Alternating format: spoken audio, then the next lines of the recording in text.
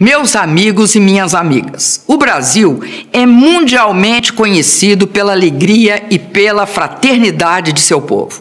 No mundo inteiro, nós brasileiros somos bem acolhidos porque enxergam em nós o espírito de paz, de amizade e de confraternização. Aqui no Brasil, porém, temos assistido ao crescimento de um clima de preconceitos e intolerância.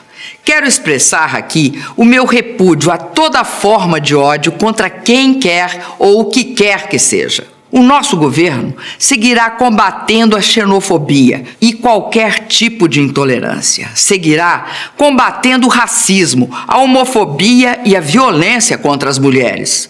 O ódio não é liberdade de expressão. Uma sociedade que se pretende civilizada deve aprender a conviver muito bem com as diferenças.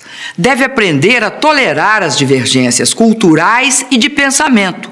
O Brasil sempre foi um país pacífico, fraterno e tolerante. Se quisermos ser um país cada vez mais civilizado, devemos honrar essa nossa tradição. Muito obrigado.